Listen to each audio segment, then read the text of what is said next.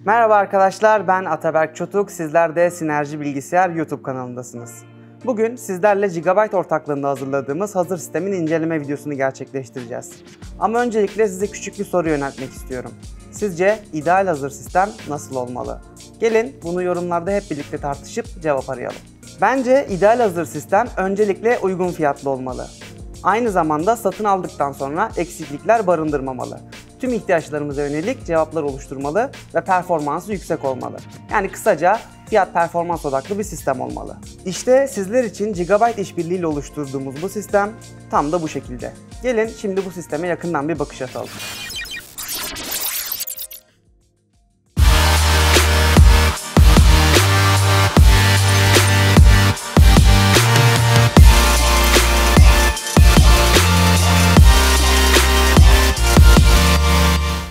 Sistemimizde işlemci olarak Ryzen 5 5500 işlemcisini kullandık. Bu işlemci 6 çekirdek ve 12 iş parçacığı ile beraber 16 MB'lık bir değer sunuyor. Sistemimizde anakart olarak Gigabyte markasının A520 MK versiyon 2'sini kullandık. Bu anakartımız 2 adet RAM yuvası ile beraber toplamda 64 GB'a kadar bellek desteği sağlamakta.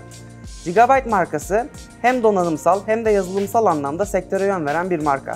SmartFan 5 teknolojisi ile sisteminizin ısıları her zaman kontrol altında kalıyor. Anakartımız üzerinde bir adet Gen 3 M2 SSD yuvası bulunuyor. Anakartımızın arka bölümünde ise toplamda 6 adet olmak üzere bunlardan 4 tanesi 3.1 olarak USB tip A girişimiz mevcut. Biz bu hazır sistemimizde RAM olarak Goodram markasının 2x8 şeklinde toplamda 16 GB olan 3600 MHz ve CL18 değerlerinde RAM'lerini aynı zamanda yine Goodram markasının 512 GB'lık PX500 model M2 SSD'sini kullandık. Şimdi gelelim hepimizin merak ettiği yere, ekran kartımız. Sistemimizde ekran kartı olarak Gigabyte GeForce RTX 4060 Eagle Overclock versiyonunu kullandık. Çoğu zaman teknoloji ve tasarım anlamında sektöre yön veren Gigabyte bu ekran kartında da yine çok iyi işlere imza atmış.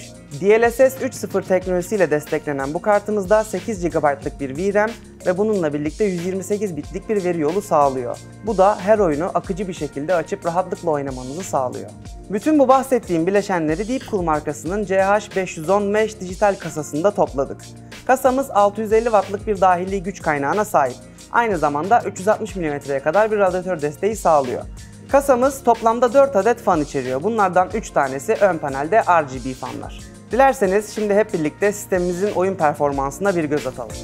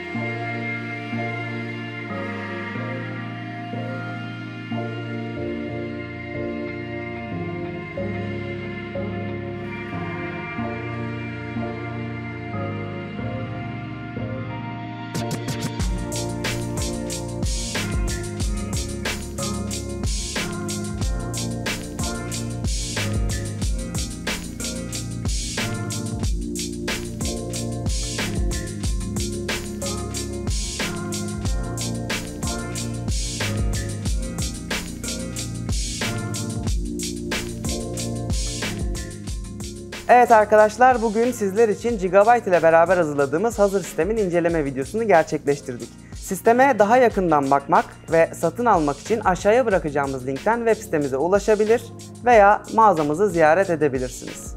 Videomuzu beğenmeyi, merak ettiklerinizi yorumlarda belirtmeyi, Sinerji Bilgisayar YouTube kanalına abone olmayı ve bizleri sosyal medya hesaplarından takip etmeyi unutmayın. Ben Ataberk Çotuk, bir sonraki videoda görüşmek üzere.